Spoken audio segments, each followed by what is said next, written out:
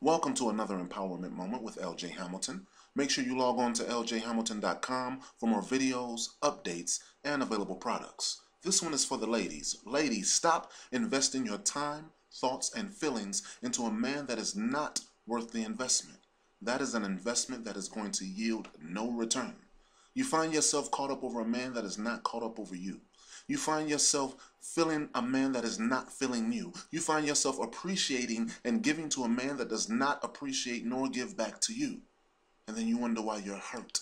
And then you wonder why you're confused. And then you wonder why you feel lonely.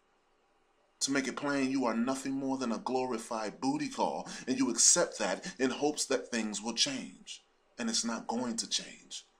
The situation is not going to change because that man is not going to change. And there is nothing that you can do to change him. He has to make that decision for himself. He has to decide to change. And not just for you, but for himself. And there's nothing you can do to influence that. There's nothing you can cook. There's nothing you can make or bake. There's no sexual activity you can perform to make that man change. He has to want and decide to change the best thing that you can do is stop making an investment into a man that does not invest in you. Stop giving your heart and your body to a man that is only going to take both for granted. Separate yourself from relationships that are of no value to you. Disconnect yourself from men who, do, who don't treat you like the lady that you are, from men who don't treat you like the woman, the queen, the virtuous woman that you are. Disconnect yourself from men like that.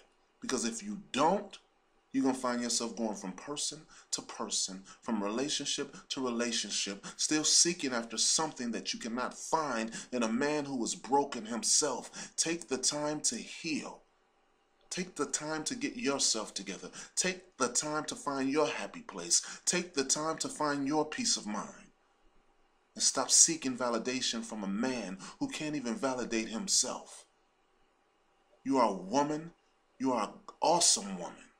Understand that. Know that you are a powerful woman. You are an inspiring, encouraging woman. Understand and know that. Be the best you that you can possibly be and stop investing your time, your thoughts, and your feelings into a man that does not give the same back to you in return. Because if you continue to do so, more than likely, you will lose on that investment.